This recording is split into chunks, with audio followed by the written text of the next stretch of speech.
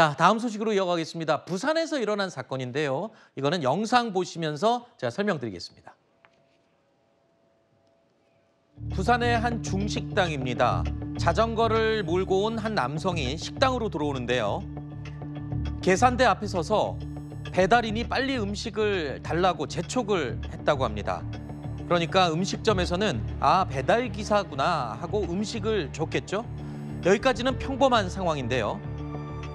그런데 10분 뒤에 다른 남성이 가게로 또 들어옵니다. 알고 보니 이 남성이 진짜 배달 기사였던 겁니다. 이때서야 가게 주인은 아 내가 속았구나라고 알아차렸다고 하네요. 자 피해를 본 식당 주인의 목소리를 들어봤습니다.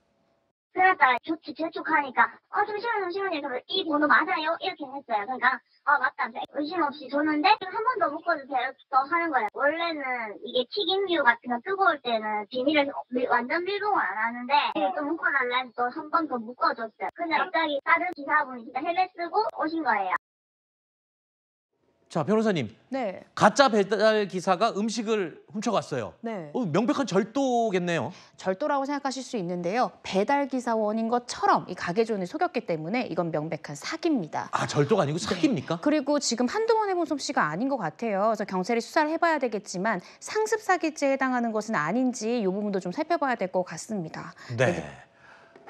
아 저분 곧 잡힐 것 같은데요. 네. 알겠습니다. 자 사건 사고 오늘은 여기서 마무리하고요. 변호사님 다음에 또 부탁드리겠습니다. 네. 나와주셔서 고맙습니다.